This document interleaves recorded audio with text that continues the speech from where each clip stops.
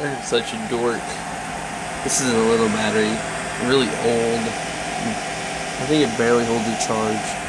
And then that one I found, uh, well actually came out of a, never mind. Anyway, so 400 watt. Now I want to get a bigger one.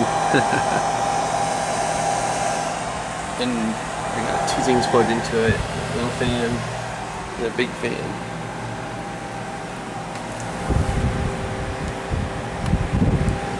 It's not whining yet. This thing will start to whine really loud and annoying before it dies.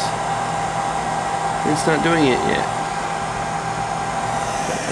I just charged this little battery.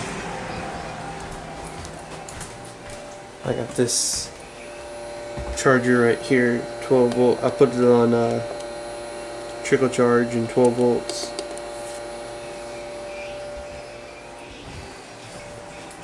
but my goal is to get a bigger one of these that'll power a window unit and then get some solar panels and some 12 volt deep cycle batteries.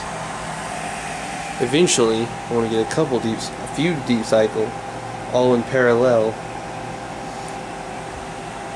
So I have 12 volts times like four or five deep cycle batteries. So I have like several hours of this this little battery or this battery right here will power that TV 22 inch LCD will power for like 8 minutes and then it'll die. There's no telling how old this is. And this one is even older